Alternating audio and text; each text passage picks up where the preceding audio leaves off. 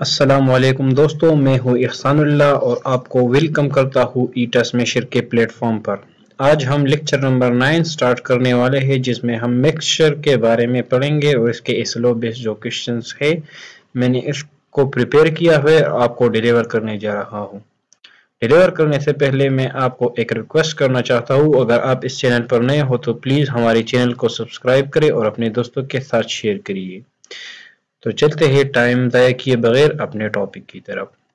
तो हमारा टॉपिक है define mixture and write the type of mixture and its name so हमारे पास डिफिनीशन ये है when two or more substances यानी एलिमेंट और कंपाउंड बता रहा है इसके बारे में कि हमारे पास दो या दो से ज़्यादा सब्सटेंसेस यानी एलिमेंट और compound are mixed together in any proportion and they do not undergo any chemical change but retain their properties the resulting substance is called mixture यानी हमारे पास दो या दो से ज़्यादा सब्सटेंसेस एलिमेंट और कंपाउंड जब ये मिक्स होते हैं एनी प्रोपोर्शन मतलब एग्जैक्ट प्रोपोर्शन यानी बाय रेशियो बाय मास का मतलब यहाँ पर नहीं यानी हमारे पास एनी टाइप ऑफ़ प्रोपोर्शन हो सकता है। और हमारे पास इसमें केमिकल रिएक्शन नहीं हुआ हो।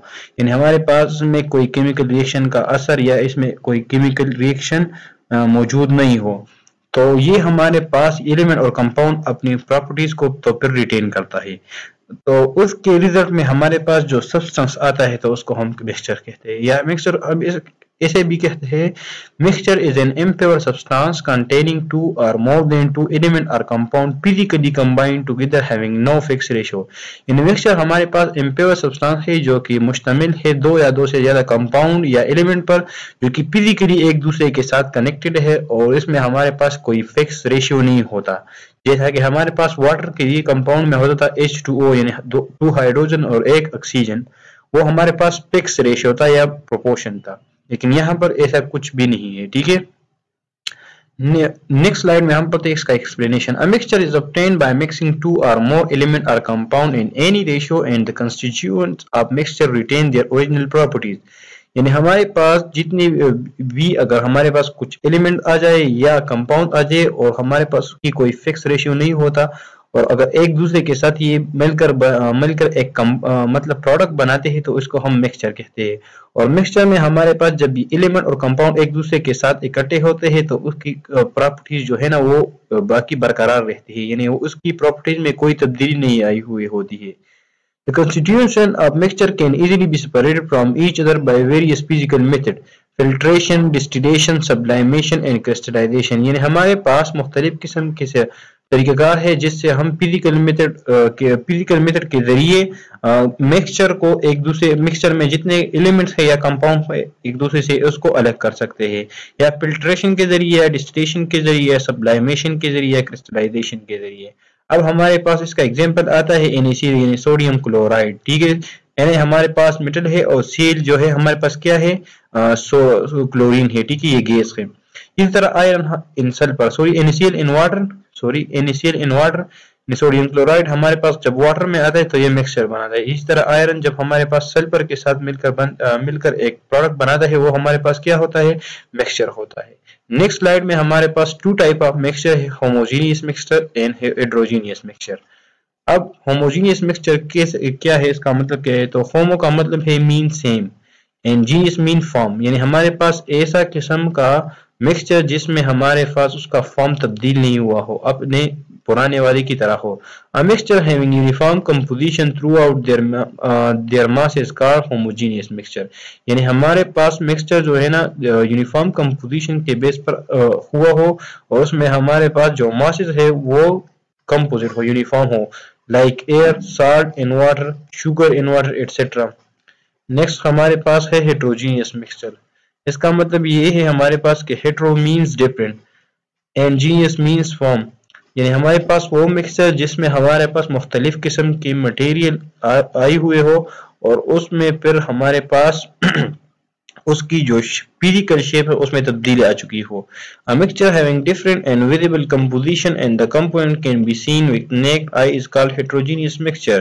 Ice cream cooking meal muddy water etcetera यानी हमारे पास वो किस्म के कंपाउंड या वो किस्म के एलिमेंट जो कि हमारे पास मिलकर एक प्रोडक्ट बनाते हैं और उस प्रोडक्ट में हम इजीली जो है ना उस एलिमेंट और कंपाउंड को देख सकते हैं या इसमें हमारे पास जब फ़िज़िकल चेंज आता है तो उसको हम क्या कहते हैं? मिक्सचर कहते हैं। नेक्स्ट क्वेश्चन हमारे पास है type of mixtures are defined on the basis of what यानी हमारे पास मिक्सचर के टाइप्स जो है ना, वो किसके बेस पर डिफाइन किए गए हैं या हमारे पास किसके बेस पर है?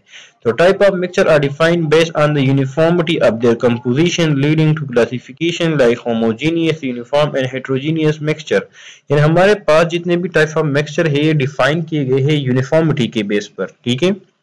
नेक्स्ट क्वेश्चन हमारे पास है What are the method for separation of mixture यानी हम मिक्सचर को के कंपाउंड और एलिमेंट को कैसे एक दूसरे से सेपरेट कर सकते हैं?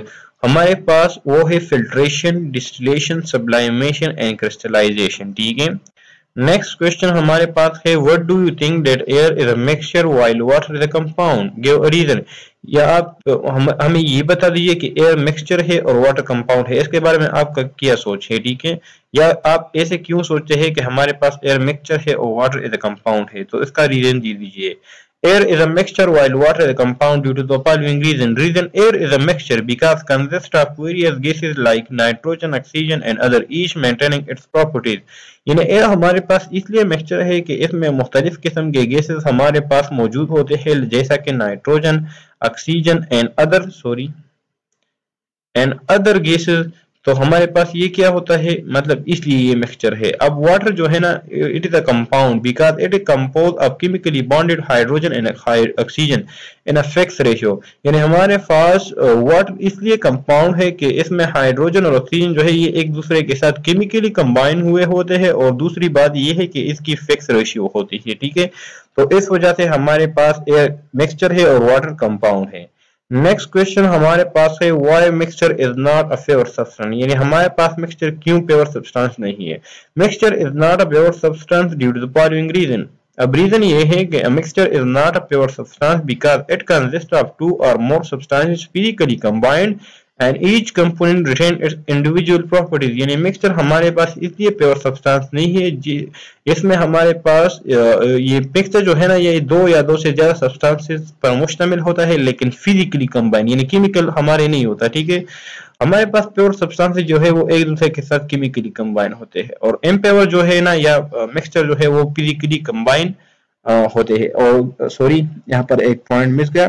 हमारे पास जो प्योर सब्सटेंसेस है जैसा कि एलिमेंट और कंपाउंड ये हमारे पास फिजिकली कंबाइन नहीं होते ये केमिकल कंबाइन होते हैं ठीक है? और हमारे पास मिक्सचर जो है ये फिजिकली कंबाइन होता है ठीक है? और हमारे पास इसकी जो कंपाउंड है उसकी अपनी प्रॉपर्टीज़ बरकरार रहती है। तो इसलिए हमारे पास एयर जो है ना ये मिक्सचर है।